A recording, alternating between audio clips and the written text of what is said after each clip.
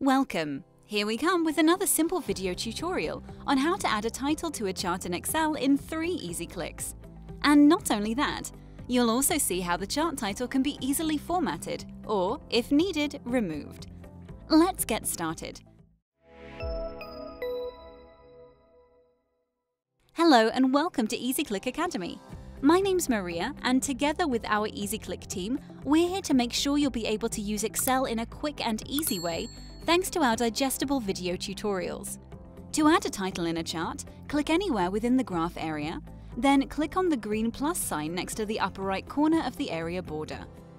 Excel will show a list of chart elements you might find handy while editing graphs. If you select Chart Title, you'll notice that a text box for the title has been added in the chart area.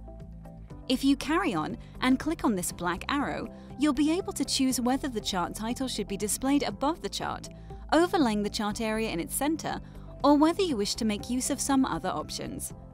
We'll select Above Chart. To change the chart title, just click into the text box and you can type in anything you want. Let's name this chart Sales. You can make additional changes and format the chart title by right-clicking on the text, and through this quick menu, you can change the style of the title, background color, or its outline, just as you like. You can also change the font size and type. So click on the title again and select the whole bit. You're going to see some options where you can set the size and type of font according to what you need.